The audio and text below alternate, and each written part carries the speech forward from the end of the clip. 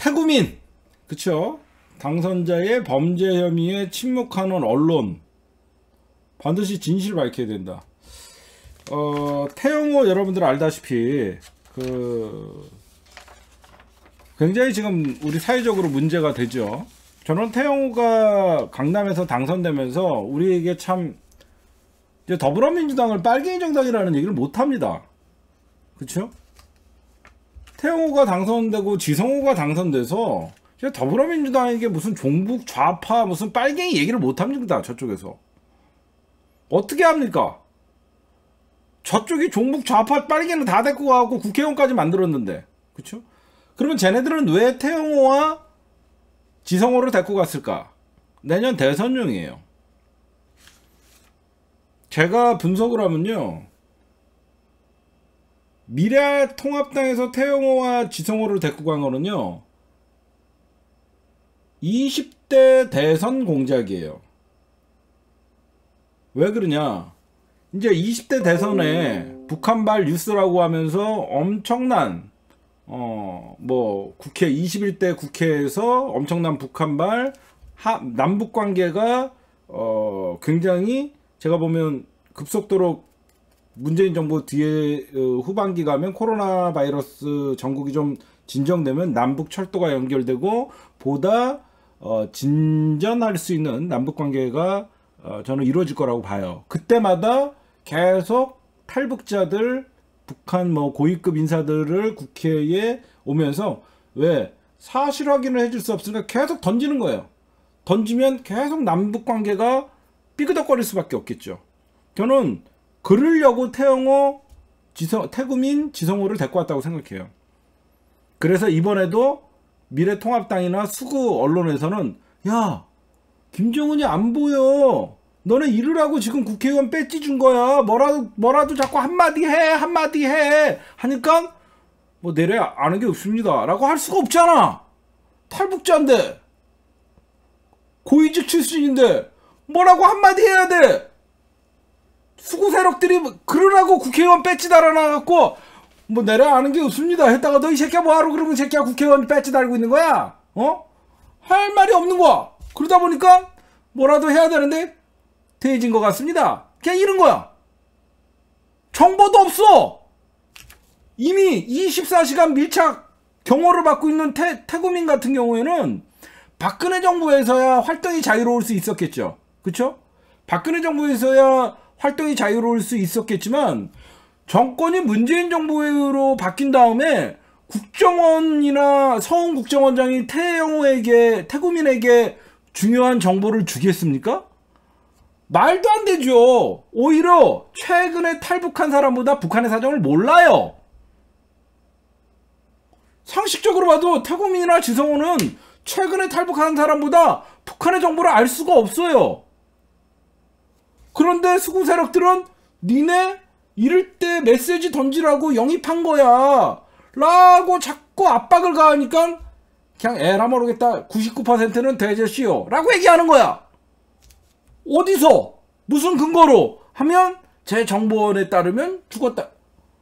말도 안 되게 던지는 거야. 그러면 또 그걸 언론이 뭐라 그래요? 아무 검증 없이, 아무 확인 없이 그냥 받았어. 지성호, 김정은 99% 사망. 뉴스가 되니까. 진짜 이거예요. 탈북자의 북한 고위급 인사의 수구 세력들이 가장 좋아하는 기사 쓰기. 그냥 쓰는 거야. 그러다 보니까 태구민 지성호가 시작 전부터 당선인 신분에 어 뭐 죽었다 자기의 정보통이다 음? 근데 그래갖고 우리가 그랬잖아. 이런 사람들한테 중요 정보를 주면 큰일 난다. 왜?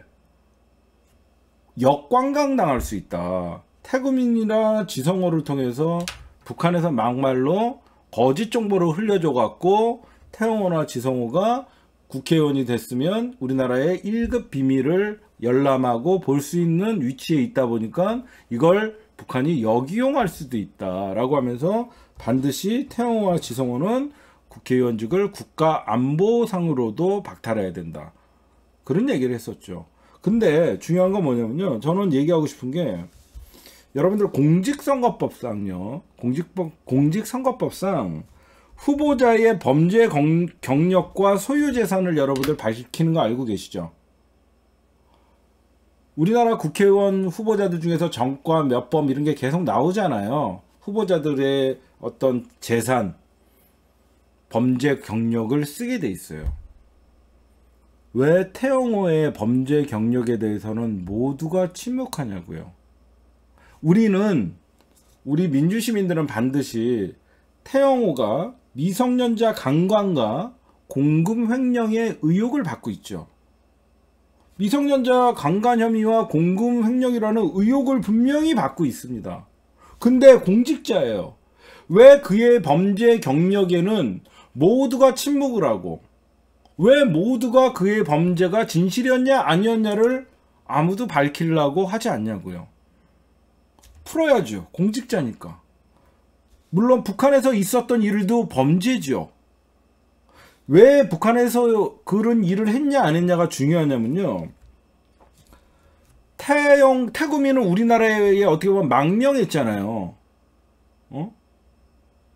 우리나라가 첫 번째 망명이 아니었죠. 영국에 있다가 뭐 이렇게 돌아서 들어왔죠. 여러분들 국제법상 세계 어느 국가도요. 파렴치한의 정치적 망명을 허용하지 않아요.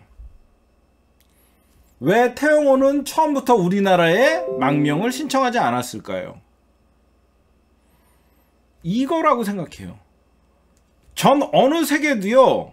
박근혜 정부니까 태영호 같은 인간을 저는 망명을 받아들였다고 생각하는 거예요.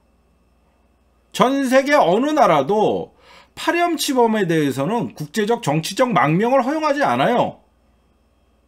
응? 태영호는 분명히 우리나라에 현재 망명이 와 있죠.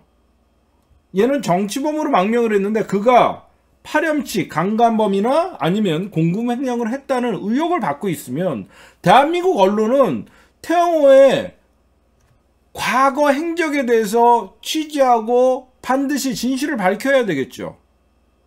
그게 공직자예요. 공직선거법상 후보자의 범죄 경력을 반드시 밝혀야 됩니다. 태영호는 일, 일개 탈북민이 아니에요, 이젠. 대한민국 국회의원이에요.